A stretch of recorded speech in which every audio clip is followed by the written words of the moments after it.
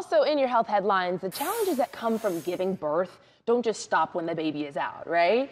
Um, some can be hard to talk about and potentially leave you with long term issues, specifically your pelvic floor. So this morning we are joined by Dr. Marcy Crouch, also known as the Down There Doc, which is just a fantastic name.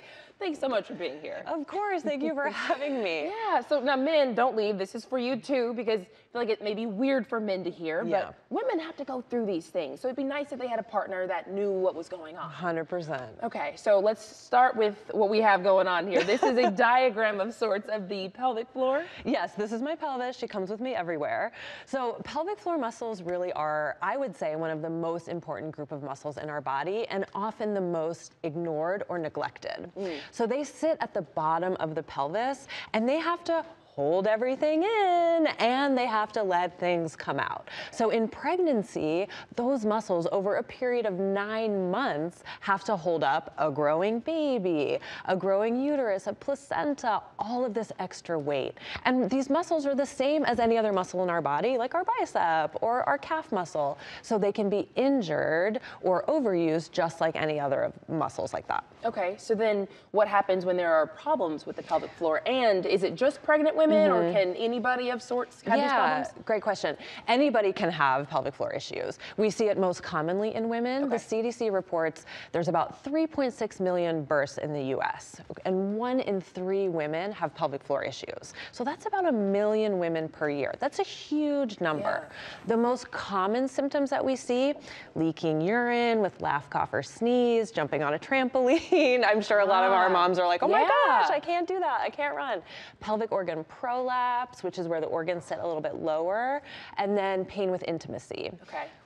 So I think if people are listening to this and this, you know, they they have some of these problems, mm-hmm. you might feel heard. That's what kind of mm-hmm. this is for. We Yes. want to, you know, show people that you're not alone in these things. And there are actually specific things that you say that you do and don't do to kind of strengthen that pelvic floor. Mm-hmm. Some of them I think sound a little crazy. Yeah, I know. And I'm sure you can find lots of crazy things Yeah. out there online for sure.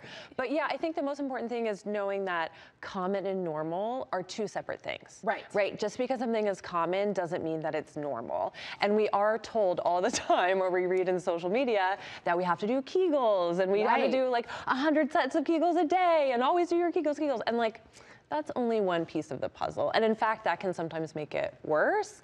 And it's so hard to actually do those correctly. So that's where we mm. come in as physical therapists. Okay. And then you also don't hover over public toilets. Yes, that we were just talking about that back in the, in the green room. Yes, that's like such a big myth. So Yeah. when we go to the bathroom, our pelvic floor muscles have to relax and open.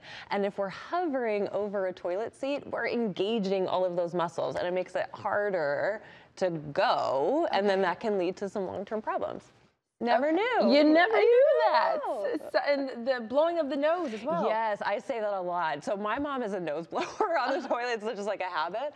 But when you're going to the bathroom, those muscles are relaxed, right? So if you blow your nose or if you're pushing really hard or straining, it's a lot of excess pressure down on the pelvic floor, and that can make leaking or prolapse worse. Okay. So why do you think these are so taboo to talk about? Yeah, it's such a great question. I mean, I love talking about them. I mean, I will talk about this all day long if I could. Um, but you know, it's a very intimate area, Right. right? It's your private. So we're taught our whole life to like not talk about it Yeah. and not tell anybody about it.